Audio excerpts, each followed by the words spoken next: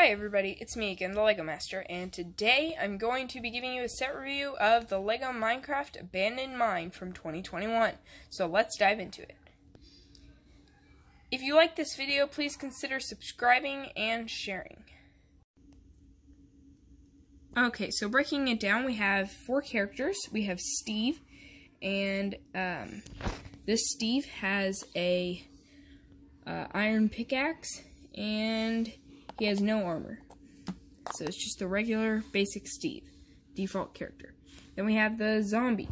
And he, well, uh, do you see a resemblance from uh, to him and Steve? Yes, they're wearing the exact same clothes. It's just the zombie has green skin. Um, so this is what the zombie looks like. He's carrying a stone shovel in this set. Um, and sometimes zombies do carry weapons. Sometimes they're just wandering around empty-handed. Next we have a spider, and these guys are kind of rare in LEGO, whereas they're kind of common in Minecraft. And, uh, he's basically, uh, got these pieces as his legs, so they can, um, go together. His legs can move up and down, like this. And then we have the slime, which is basically, um, a modified version of the Minecraft, the classic Minecraft head. Uh, that's transparent and has uh, the slime facial markings on it. Okay, so now we can get into the parts of the uh, the parts of the set that is easily detachable. We have a crafting table. This is the first uh, real crafting table I ever got. It's got the markings on the side. It's got the a 3x3 grid on it. And so that's the crafting table. Then we have two torches. Torches are easy to make. Um, there's no difference between the ones I make and the ones that uh, I got from the set because they're, well, identical. And then we have this diamond ore here.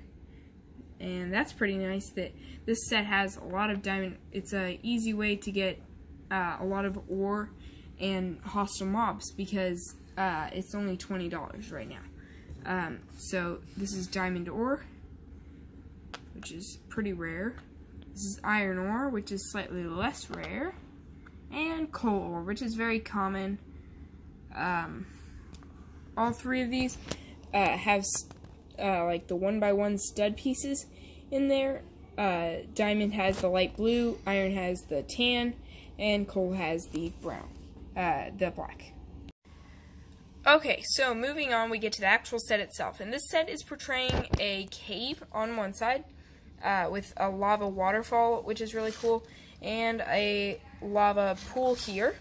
It's got a cobweb here, and you can see that there's a lot of places to put the ore and the torches and things like that. And then there's the lava pool, and across the lava pool there's an abandoned mine shaft, and that's what this set's all about. It's got a water pool here. Uh, it's got a higher platform here with some gravel. And I'll show you that function in a minute. Turning it around, you can see that it looks like this. And there's a couple more places to put stuff. Okay, so now I'm going to show you the gravel function. So, when Steve's mining, um, he can mine this gravel here, and uh, so the gravel falls, and it's really cool how it does that. So back here, there's this grass block here, and you pull it back, and it falls. Uh, so the way it works is that there's this peg here. When when these are on, uh, they're on this thing. Then when you pull this back, it slowly goes in, and that releases these, and they just automatically fall. So that's really uh, a very cool function. Uh, it's a lot of fun to play with. And now you've seen the whole set. You've seen the minifigures, and you've seen the uh, other accessories, and you've seen the set itself. So now I'm going to put it all together so you can see what it looks like. Okay, so this is what the set looks like in its normal configuration. You have the iron ore here, you've got the two torches, you've got all the hostile mobs in the cave and the mine. You've got the diamond ore back here, the coal ore over here, and you got Steve mining up here with the crafting table. Now, of course, that's only one configuration of how you could put all this together. Uh, there are a lot of different ways you can put this together, and this set's really nice and customizable, so you can do that. Let me show you another configuration that I made up. Alright, so this configuration is slightly different. You can see I put the iron hanging down from the wall here because uh, being a normal Minecraft block, it's got this piece here, so it's easy to put on and take off.